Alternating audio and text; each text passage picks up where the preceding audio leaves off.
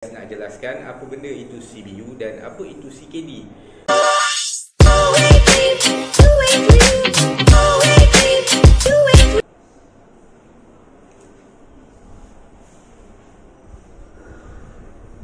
Hai, Assalamualaikum bersama saya Hasbullah Proton Eda.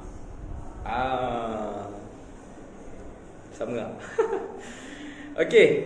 So untuk video kali ni uh, simple saya just nak jelaskan apa benda itu CBU dan apa itu CKD. Terms ni selalu kita selalu dengar uh, bila kita nak beli kereta import atau kita masuk dealership kereta kereta import. So salesman biasa akan explain bang yang ni model CBU, yang ni model CKD. Apa benda model CBU, apa benda model CKD ni?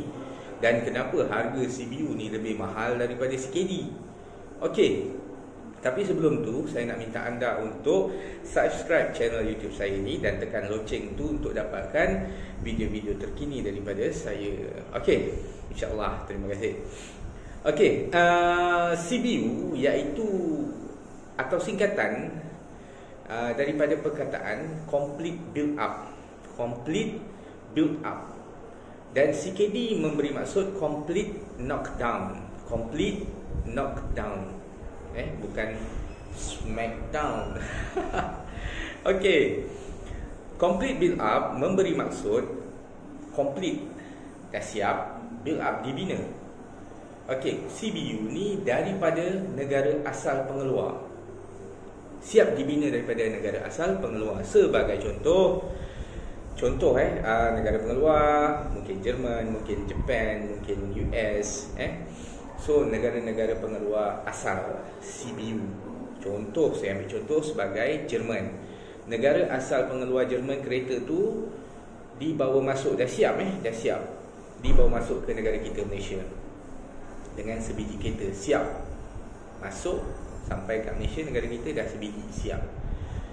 CKD pula Parts saja yang dibawa. So parts by parts dicerai-ceraikan dihantar ke negara kita dan pemasangan di negara kita. Ha, itu CKD complete knockdown.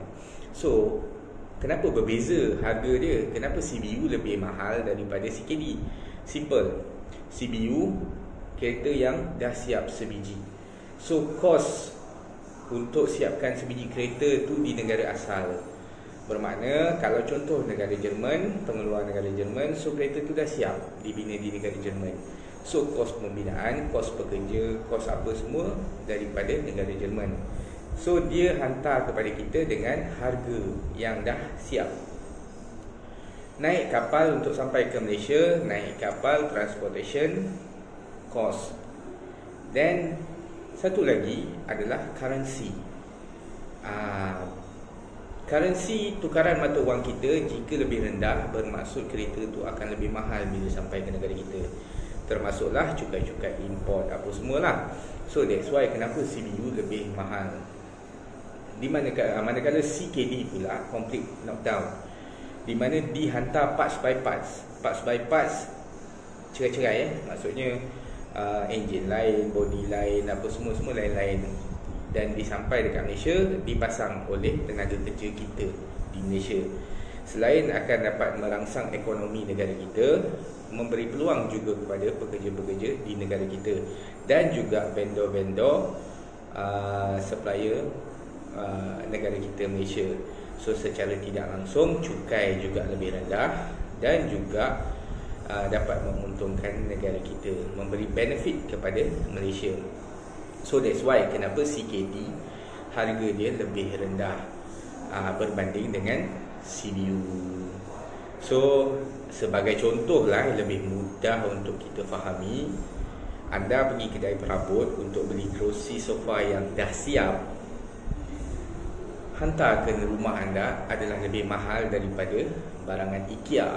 IKEA anda beli parts dan pasang sendiri dekat rumah DIY. So samalah CKD kita beli parts daripada negara pengeluar dan pasang di negara kita sendiri. Jadi jimatlah kos pemasangan. Okey, alright.